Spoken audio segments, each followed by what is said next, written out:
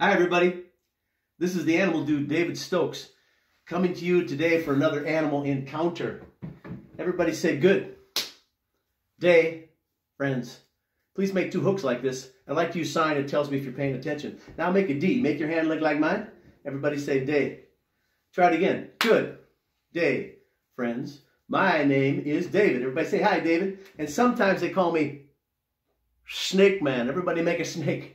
Yeah the side for snake. My snake hat, I love my snake hat. It's not a very good sun hat, though. Got a hole in the top.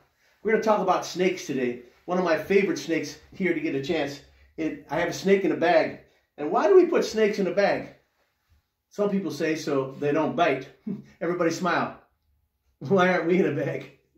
yeah, a friend of mine told me he didn't have a bag big enough. then I had to tell him my uncle was a mortician. Never mind. The snake's in a bag to control the snake so it doesn't get out. I'm going to bring out the snake. I'm going to ask you not to scream. Do you know why? Because it bothers me. Snakes do not have ears. For all practical purposes, snakes cannot hear you. So when I bring out the snake, please don't scream.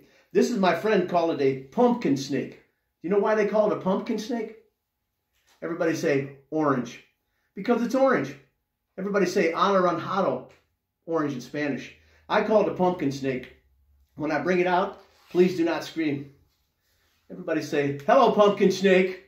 Yeah, this is my friend, the red, the red rat snake. Everybody make an R, make your hand look like mine. Everybody say red rat snake. It's in the rat snake family. In Wisconsin, we have rat snakes like the gray rat snake and the fox snake. But this one does not live in Wisconsin. This kind of snake came from east of the Mississippi, south of, of uh, Ohio, all the way down to Florida. And in a pet store, they call it a corn snake. I don't like the name corn snake. Doesn't make any sense to me because they don't eat corn. And I like pumpkin snake, and I like to call it by its family name. This snake, everybody say, why doesn't it bite? I don't really know for sure, except that it's not, it's not hungry, and it doesn't smell food, and it's used to being touched. Now, if you find a snake outside, I would suggest don't pick it up.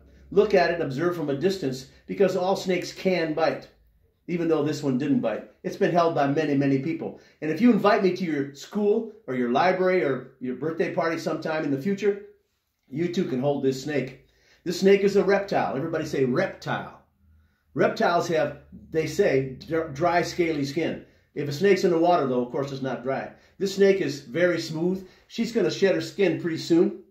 And she's got a red tongue. Now, you might ask, why is a snake sticking out its tongue? Let's try it. Snakes stick out their tongue to smell. Let's try it. Plug your nose. Stick out your tongue. I don't smell anything. You smell something? Oh, mommy, those chocolate chip cookies smell good. Mm-hmm. Everybody say snakes are different than people. There's no animal like us. There's no place like home. Thanks for coming today. Thanks for watching, animal lovers. Animal lovers. I'll see you soon for another animal encounter. Bye bye.